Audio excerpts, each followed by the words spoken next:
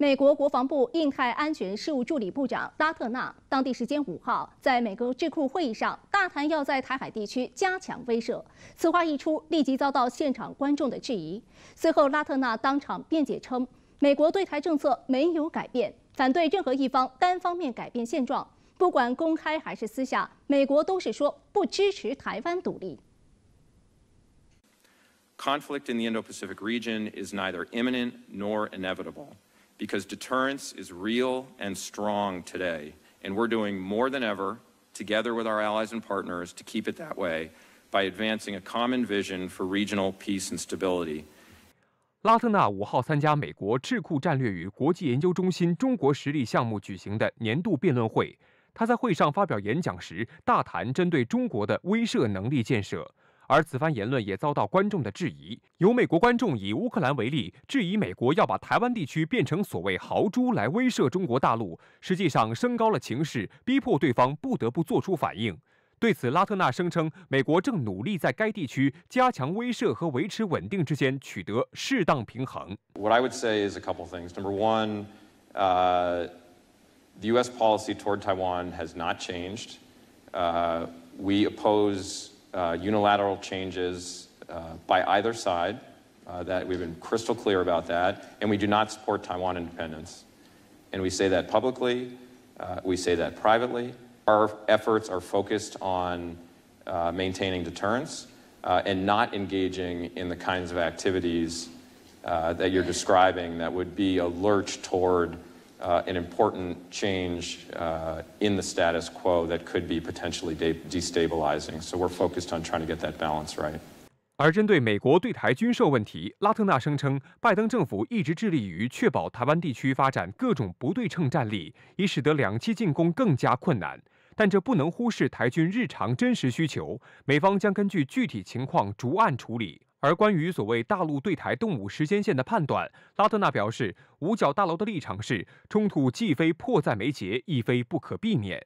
他重复了今年二月在美国国会听证会上的说辞，认为到这个十年末，中国大陆不会对台采取重大军事行动。外交部发言人毛宁此前曾表示，台湾是中国的台湾，台湾问题是中国内政。解决台湾问题是中国人自己的事情，要由中国人来决定，不容任何外部干涉。相关问题，我们来连线北京演播室的嘉宾，时事评论员刘匡宇。刘先生您好，美国国防部印太安全事务助理部长拉特纳表示，美国对台政策没有改变，不管公开还是私下，美国都是说不支持台独。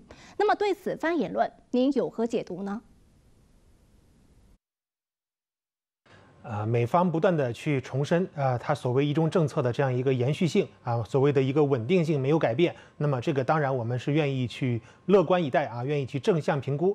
但是对于拉特纳所讲的美方在不支持台独的这个问题上，啊，保持着一个一贯的一个姿态，那么对这一点，我觉得我们要有一个更为客观、辩证和理性的一个看待啊，来去借此认识到美国对华涉台政政。涉台政策中，在这个台独这样一个非常关键的核心的敏感议题之上，美国对它的态度，那么折射出美国政策的一个摇摆性啊、虚伪性和两面性。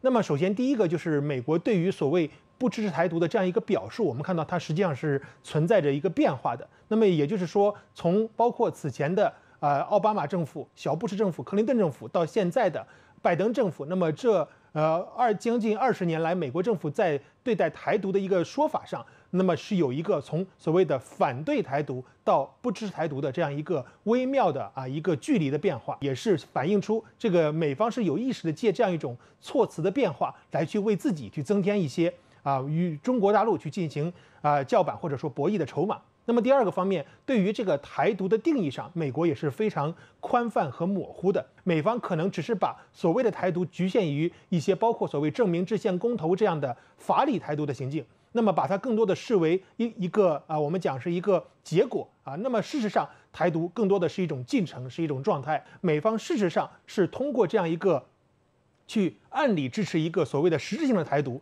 那么啊，以此来去作为啊呃他在海呃海峡两岸之中去博取更大利益的一个筹码。所以说，在这一点上，美国是有意识的去操纵一个所谓的可控的台独，试图去制造一个两岸之间的所谓的和平分裂、事实分裂的这样一个状态。那么这种状态本身，我们讲它就是台独，而美国在这个时候又出来讲我不支持台独，甚至说我反对台独。那么很显然，这就是他一个在言行不一上一个非常自相矛盾的一点。